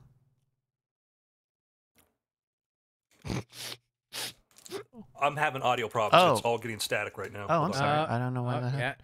Okay, I'll, I'll count you in again. Stop uh, ruining it, Bryce. I'll count you in again. Bryce, why did you shoot the static into his ears? in three. And I don't know if he can hear us. He's, he just took his things out. Oh wait, are are you able to to hear us? no, yeah, he just Oh, took his earbuds Okay, out. sorry. I didn't, Oh, uh, what are you counting them in for? You can't even hear it. I just I need to make sure that I know what's going on. Uh, Uh, now I don't know if he if your mic works. Is your mic working? It works. Oh, there we go. Now we're good. Hello. Can are, are you able to hear us well? Good. Yeah, it was. I was getting one audio or whatever. Oh, weird. Good now. Okay, I'll count you in for after things in three, two. Hello and welcome to After Things. I'm Andrew Mayne, joined by Justin Robert Young, Well, hello. Mr. Bryce Castillo. Hello. I was trying to one up you. I was trying to one no, up you. it's fine. Hello. That's not. It doesn't. It sounds It- like a monster. It's a mystery, like Moon Knight. Hello. Is the show Bryce? interesting? It's not. You have a topic. I did. Uh, over the past week or so, uh, I had stuff I needed to get done, and I've been having I've been having a little bit of motivation issues, and I have found two two things, two two approaches that really seem to help me get all of the stuff I needed to get done. Uh, uh, one is this thing I saw on TikTok uh, a few weeks ago, the idea of of the scary hour. Have you heard of the scary hour? I've heard I- of I've heard of Sunday scaries, but I have not heard of the scary hour. All right, Andrew. I I have a concept of my own that probably is very similar, but I'm curious to hear what this is. So yeah, so the idea is, hey, set aside an hour, whether you plan it or whether it's in the the, the in the moment. Put aside one hour, turn all your stuff off, and go and do all of the stuff you don't want to do, you don't like doing, you have all these reasons to not do. Go do your scary hour, and it's just an hour. It's just an hour. You will you will live. One hour is not so much. Um, and uh, and it's it's not some hard and fast thing. You just set aside some time. I mean, it, it's it's not even like really a technique. It's just a different way, I guess, to say get started. Um, and so between that and which the uh, the Pomodoro technique, which I've talked about before, which is um, if you're not aware, it's an interval timer where you work for 25 minutes and then you take a five minute break and then you do 25 on, five off, 25 on, five off, and then the last 25 uh, on, and then a 15 minute break. And so, or, and you can change the intervals and whatever, but the idea of get started, take a short break, get started, take a short break. Um, and I really needed that over the past week. I really needed to have these tools at my at my disposal to say, I have this thing done. I know it's only going to take so long. I and once I start on it, I'm gonna be I'm gonna be gravy. I'm not even gonna be worried about. It. Like I started my stuff and I was like ignoring my pomodoros to, go take a break because I was in the mood. I was like actually getting stuff done, uh, which is a a, great place where you want to be given where you start. Um, and so I thought that those were, uh, but the the mixture of having the conceptual idea of the scary hour plus the concrete structure of the Pomodoro, um, as well as other, te- you know, I've got a to do list sort of thing, and the you know the way you schedule your day is going to be different. But having having all those tools available and knowing, look, you need to do this thing. Here are the tools. Figure out pick pick one and get it and and get it done. Uh, and I think that was what I really needed this last week. I have a thing when I get down to a time crunch and uh, shared it with my wife, and th- that is that when I'm dealing with a book deadline or something, and I've been doing a lot of procrastinating, I do a thing where I say the first two hours of every morning belong to that project. Mm. No social media, no email, no nothing. I get up, first two hours are going to be that. And you get things done so much faster. Like I get in that two hours, I get everything done that I probably wanted to get done in a day. I don't do it a lot because it takes a lot of like uh, willpower to do it, but I usually because I get things done. But when I don't, I just do that. Also, sometimes do even like last night, I had a, several things I had to get done, both for my bo- a newest book and then something for work, and I didn't want it to slide into the week. I'm like, I just have enough stuff to do the week, and I was like, okay, well, I know I'm going to screw around until this time, and come that time, I'm going to go do this. It's on. Or or I'll do like that the technique of like I'll say okay, I will open the document that I have to do. I will read what I have to do. Then I'll go do something else. Then I'll come back and I'll do the first 5 pages of what I need to do. Then I'll do something else and then I'll come back and I'll break it up like that. And then I'll get into them like, ah, I don't want to do five pages. I'm going to do 50 pages. And I'll just like, I'll just get these done. And then the next Yeah. thing you know, you're done. Yeah. I think that there, I mean, really what we're talking about is discipline, right? We're talking about uh, uh, uh, different ways for which we can muster discipline and not uh, uh, allow it to be subsumed by the rest of the day. I have found myself in a situation recently where, uh, you know, trying to get World's Greatest Con season two out the door. There was another project that we were working on as a pitch that Hmm. you know, uh, uh, I put time and effort into. But the reality of my day is that between my regular uh, uh, daily schedule, for which is hard coded and ingrained in my brain, Yeah. And the fact that I knew that every extra second that I had, I had to be working on these things that were either coming out or needed to be out the door ASAP.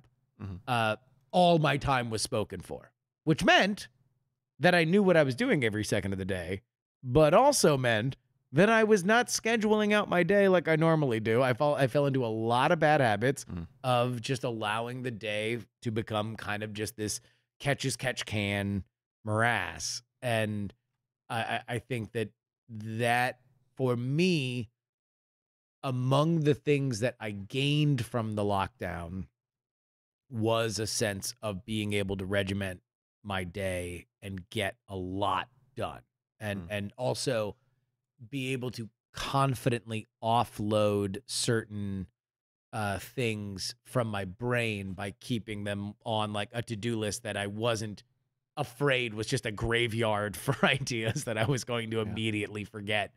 Uh and I think that that's that's kind of what we're what we're what we're getting at is like okay, so for you Bryce, the the scary hour Mm. of like, all right, I know that every day I'm going to have to do this. On one hand, on the face of it, it's really just saying I'm going to be productive one hour a day.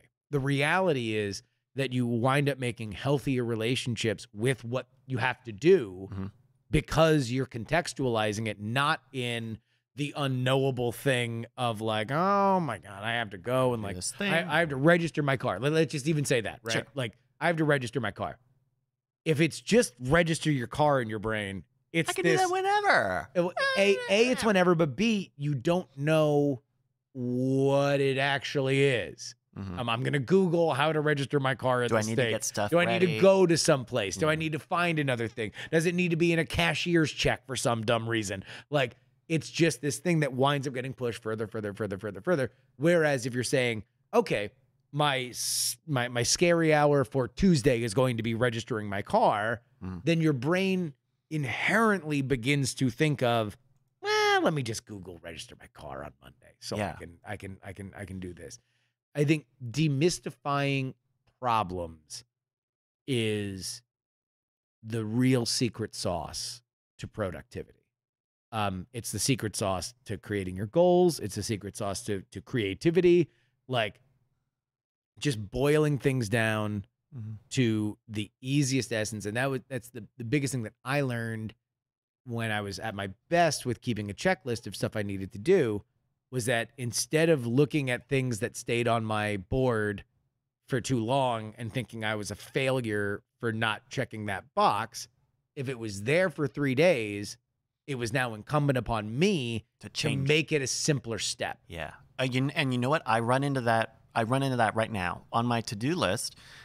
I've there's an e- there's a someone someone sent in a very nice email to Great Night with an idea for a game that is fantastic, and I would love to respond to it. And it's been on my uh, thing for like six weeks. Reply to the email. Ask the question of the thing you need to do, and I just keep kicking it, kicking it. Oh, I'll get to that tomorrow. And uh, you know, the idea of like, you know, what is basically office hours, you know, Yeah. uh, a, a, and, and it doesn't even need to be always at the same hour every day, but the idea of I'm just going to sit down and do the little things.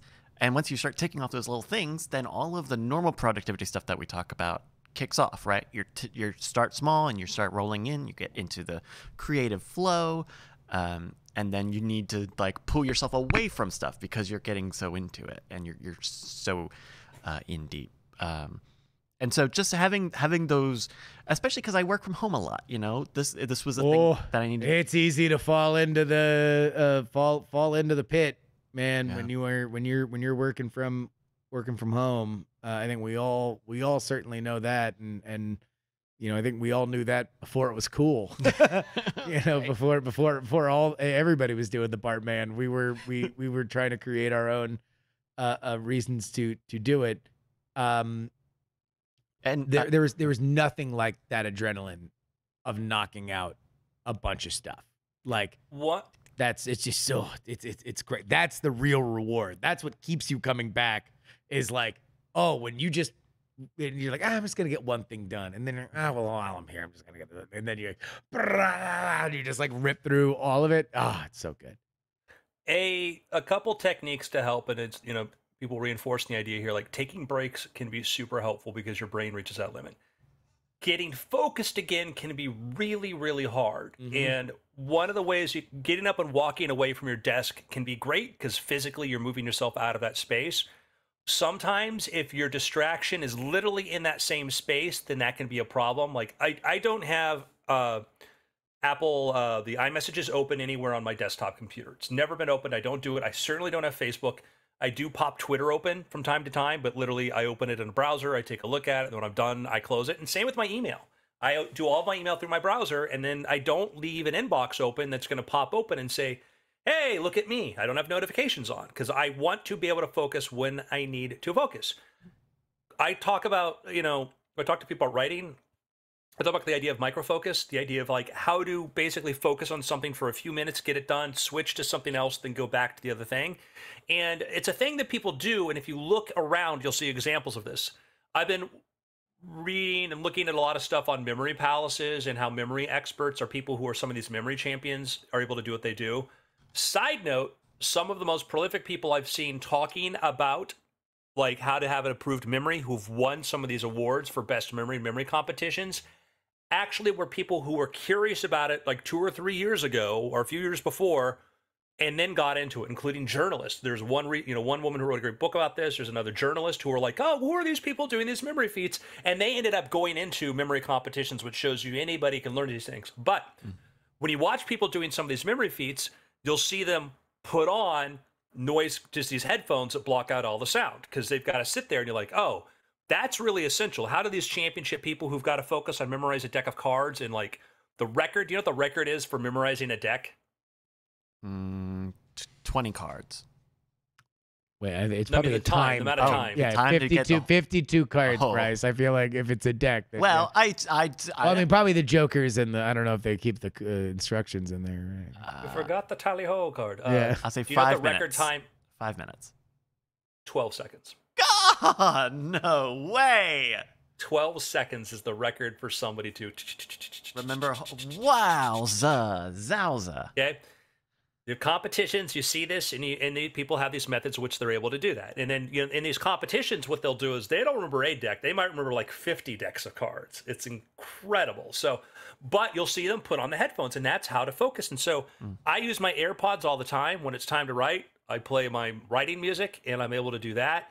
Uh, if I need to read something for whatever, I have my iPad. I change my modality so that when I need to shift my focus back, it's easy for me to know this is the space where I create. Yeah. This is the space where I screw around. I've got a standing desk that I use for work. All I use for it. Mm. All I don't edit my books there. I don't do anything. It's all for stuff that I do relating to uh, where I work, by the way, which was named by Time Magazine Ooh. as one of the most oh, yeah. 100 influential companies. Mm-hmm. Uh, so anyhow, uh, anyhow, that's helpful. So think about if you want to get back to your focus, think about ways to do it. Somebody asked, what is your writing uh, music genre? I use a lot of soundtracks, and I'll use soundtracks for thrillers and mystery movies. Pro tip sometimes really awful movies have great soundtracks because when they hired the composer, he didn't know it was going to suck. and so he might be like, I never saw this. People said it was good. One Rotten Tomato and one score, but like, well, the soundtrack's really good. Soundtrack's good. So, uh, this this is a story I've told before, but oh. back in the day when uh, Andrew was uh, uh, uh, in in the in the the early days of his illustrious writing career, uh, the Andrew's a man of tremendous focus, and so he would be on Pandora at the time playing like the Hans Zimmer station where there'd just be all these great movie scores that were playing. But uh, sometimes the algorithm would get weird and there would be these very like I would describe as serial killer music because it was like these very weird, like atonal, like track 12 on the Halloween sound whatever. Yeah. and so I become because his office was upstairs. I've been coming here so we could go to Arby's or whatever for lunch, and it would just be him in in this writing coma like zone, like tapping, like. Here, Justin, read my story yeah. from the first person point of view of a woman trying to hunt down a serial, a serial killer, killer, who uses magic to fool people. Uh, Thank God you were a success, because otherwise, you know, that would be a really, a really sad story.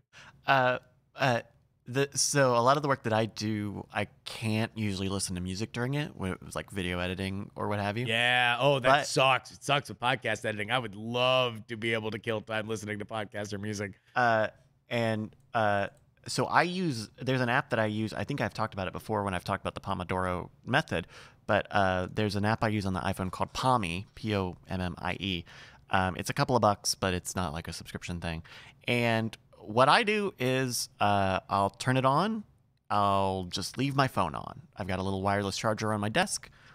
Put it right there. I see it counting down. 20 minutes left. 20 and once you see that, you're like, "Okay, I kind of need to I got to get get going here. I only got 20 minutes. I got to feel like I get something done in this in this segment." Uh, uh, and I, I, that was a, a, tip I picked up, I believe, from from Brant Hughes, who's one of our other editors here. Um, was if you have a if you have a countdown clock, boy, do you get really motivated to get done. I, I, will say I've got mixed feelings on on the larger religion of of of, of the Pomodoro uh, uh thing because I think it it can I don't know. For my money, it's a little bit too restrictive. That being said, mm. I think that there is a tremendous worth in understanding what you can get done in 20 minutes. Absolutely. And that I think is something that is that is huge, huge, huge. And so whether or not it's that exact interval, if there's a magic number right. of, of, of what it means, like uh, and, you yeah. just setting one of those goals that's longer than what you think of as a short time, mm-hmm, mm-hmm. but but not an hour and a half, not two day, not two hours, blah blah blah. Yeah. Like when you realize the true power of 25 minutes, like you you you become like, oh, oh yeah, this is all I got to do is turn it on. Uh, it's a very understandable sprint uh, that that I'm just. Mm-hmm and and really it comes down to three or four decisions to not open Twitter or not go to your email or not check your you, phone. And that's why leaving the phone on, sorry Andrew, just like that's why I leave the phone on is because I can't move away from the timer. The timer's looking at me. Hey, no, you can't go on Twitter. You need to do the timer. I and and back to what you said before uh, about understanding the task. Like so many times, I delay a thing, delay a thing, cause like I have, I'll get notes back from my editor, and I have a wonderful editor, and Ed will send me. I'll get this thing. Here are the notes, and I'm panicking because I'm like, I just finished writing. Like I'm, I'm literally a hack, and I literally don't do a second draft. I just the moment I reach the end on the first draft, I send it off to the editor, Yeah. uh, which means that it's gonna be disaster of grammatical mistakes, whatever. Anyhow, and as soon as I get it back, I have this sort of anxiety because like I just got done with the book. I, I just don't want to have to deal with the book right now. I want to do anything else but. But I the the way that I worked my way through was like, well, just read the editorial letter. Just read the description of what I need to do. Mm. And that just all of us if I do that, I'll be done within a day. Because it's just I, I that fear of what the task might be, and so often we have a fear of what it is, or we have unrealistic expectations of what it's going to take. You know, we want to write a book, like, ah, I got the energy to write a book. Cool. I'm a big believer. Gotta have your plot. No, I'm gonna figure it out. Uh, if your architect told you that, you, Yeah. you, you tell them that was bad idea. You know, maybe you'll get the Winchester house eventually, but mm, you're Yeah. gonna have to stop halfway through and tear everything down and redo it. And it's great for Stephen King because your storytelling's so masterful along the way. People don't really care where the plot ends up. Mm, Interdimensional aliens. um, but uh, Uh, but yeah, th- I don't know. So those are those are at least my uh, those, those got me. But between that and these caffeine drinks that I drink, but have, have you guys ever? Have you guys ever big tried? Oh, I'm a- yeah. Rockstar, man, that's my thing. Those Rockstar beverages, oh, I guzzle those. Have you? Have either of you ever tried the whole memory memory palace technique? I've not. No. No, I haven't.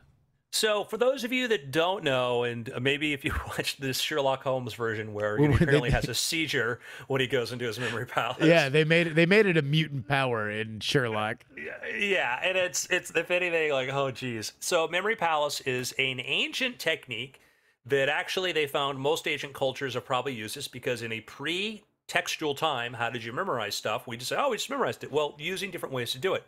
The memory palace is the idea you take some environment or place you're familiar with, and then you place the things you need to remember remember in your mind's eye where they are. Memory palaces could be based on something as simple as your house where you live in, and you walk through there and say, I'm going to place this on the table, this is over here.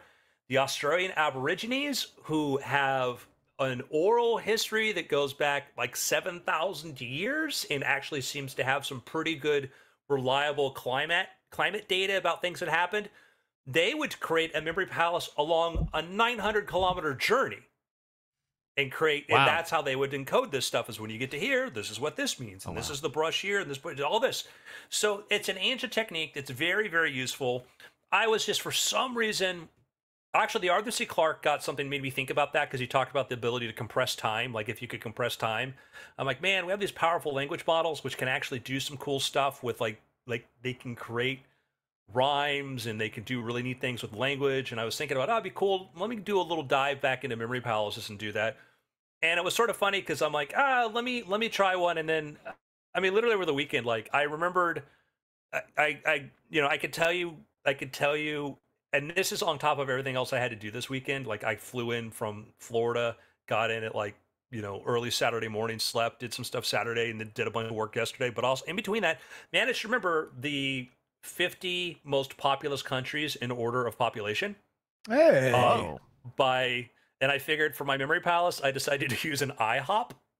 and so I got International House of Pancakes yeah. because I was also thinking about could I create a memory palace that I could share with other people that, that they could mem- remember from because if I hmm. used either use something everybody knows what an IHOP looks like well in you know America, most most people. Yeah. Yeah. or like I, I could use a McDonald's. And I said, oh, that'd be, and it was just fun because then I did that. And last night I went to bed. da, da, da. I'm like all 50, like all, and I'm gonna, I'll keep Wow. adding to it, but it's not that hard. I did that like first. oh, I'll do the 13 colonies, you know. Oh, then I'll do like eight Greek philosophers, and I'm like, oh well, I could do an ordered list and by order of population of you know countries, and so uh, I did that. What's the fiftieth? Uh, 50th I got to was Venezuela. Oh wow! Look at that. Look at that. Hey, Mhm. shouts out to Venezuela. Yeah. Yeah. Uh, so um, you know, Yeah. uh, it's it's interesting because then you start to do it, and vi- spatially you start to do it, and then you just start to like you can remember it, and it's a fun technique. It it is a fascinating idea to to pair those elements with spatial awareness and how much Mhm. we rely on spatial awareness and we don't even realize that that is something that is like a fundamental core element and and we don't realize how deep those roots go if we're able to assign these concepts to abject uh uh you know concepts. It, there's and we're really that's how all the memory champions do it. All of them use memory palaces. That is the method they use for it and so it's been again there may be some better method out there and some neuroscientists say that if you actually look at the brain they say neurons will even form in sort of relational structures like this which hmm. may be true but maybe could be searching but there's probably some conceptual thing to it because it does we're really that is a really easy way to sort of memorize stuff. And there are other techniques too. There's pao which is person ad object person action object. So if you have to remember things like numbers you know you might come up with your own like you know one is alice in wonderland you know and then hmm. an action you know putting on something and then it'd be sunglasses. And so you come up with you memorize this list of let's say you could do a 10 digit one or a 100 digit ones and these and you could start to remember numbers even large sequences. And they do these memory competitions people remember like pi to thousands of digits thousands of digits. And these are not people generally speaking who were born prodigies. These were normal people who learned these techniques. Hmm so Wow. Very fun thing i'll probably follow up in a couple weeks or something with some of the books i've you know read and some recommendations on that yeah memorize well there's a way to memorize stuff like that was actually uh most of these memory people will tell you like like they'll say like yeah here's how to remember your shopping list but write down your shopping list why not just write it down Yeah. yeah, th- and they'll be like, "Yeah, you could, you could, you could remember a book. Mhm. Why would you want to do that? You know?" And but there is, but if you have to do, let's say, script or dialogue, one of the techniques you can use for that is you take it, and I was using this for the Declaration of Independence because I was bored. Is you take it and you go through, read it through, then you just take the first letter of each word and the punctuation, and then you make that, and you keep sort of like the line breaks or whatever on that, and then you go through there and see if you can remember it, and that will actually you can go from there to there, and then all of a sudden recall it. So just Wow. getting rid of the rest of the letters except for the first letter is a second is a next step, and so there are things like that you could do. Um, Oh, people, uh, yeah. Uh, uh, I have one last pro tip, but uh, but it's Yeah, please, no, separate ahead, from from. Uh, uh, uh, what what are the other things that I'll do? We talked about kind of once you get started, you start building up momentum and you start checking stuff off. Uh, one of the things that I've started doing in my to do list app is every day I I have it put lunch and dinner on the to do list because A, sometimes I forget to eat, uh, and B, it feels like you're pacing out the day. Like you've got stuff you're going to do, you're gonna get, you're gonna eat lunch and or dinner, so you're gonna check those off eventually, and you're classifying the day a little more than daytime, nighttime. Um, uh, and then those little they you know then it feels like okay yeah you know what i'm gonna go eat some lunch and have a shower and then i've got to go do the thing because it's on my list um, uh, just little things like that like similar to the idea when you mentioning like just write down your shopping list that like that that's what kicked me off on that Uh, somebody mentioned in the comments. They said I can't visualize that. That and actually, there is a, a YouTube channel by a guy who's a very interesting character, Anthony Metivier, and he does tons of courses on uh, lots of great information about the history of memory palaces and memory techniques. He actually says that he has comes and goes, that he has aphantasia. He has the inability to see things like other people do, and he's got a whole video on that. You might want to check that out because he talks about how do people who don't visualize like other people do, how are they able to do it? And he, you know, is a guy who's a memory expert, and he's like, yeah, my brain just doesn't do that the same way. wow So, um, people have Um, been dealing with a lot of these things for a lot of times. There are a lot of interesting solutions to that. So, wow, wow. uh, there you go, Bryce. Yourself, you found it faster than I could. So, uh, you're amazing. Uh, there you go well uh, uh, I'll have that we'll have that in the show notes as well Yeah. Yeah, uh, that'll be my pick. Uh, also, yeah, I'll put his uh, Anthony Metivier's ch- uh, channel. His last name is spelled M E T I V I E R. He's got like he's called it the magnetic memory method, uh, which you know, kind of you know, sounds like a very uh, uh, trademarky kind of thing. But he's he's really passionate about this and has a lot of interesting insights into it. So and there's an interesting community too of people who talk to each other, etc. Very cool. Um, uh, yeah, my my uh, my pick is going to be Pommie. I talked about it earlier. Mhm. Uh, it's only like four dollars.